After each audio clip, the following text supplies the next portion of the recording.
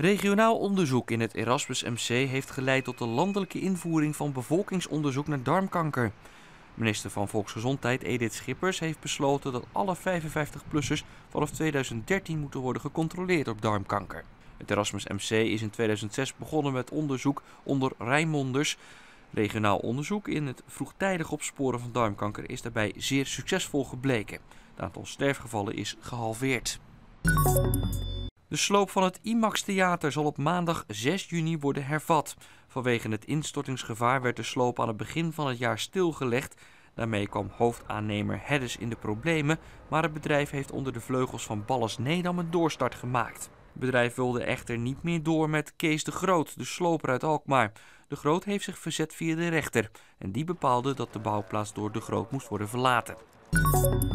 Een motorrijder is gisteravond ernstig gewond geraakt door een aanrijding op de kruising van de hoofdweg met de Debrechtseweg in Rotterdam. De man kwam in botsing met een personenauto. Personeel van de traumahelikopter hebben de man geholpen. Hij is afgevoerd naar een ziekenhuis. De bestuurster van de personenauto raakte niet gewond.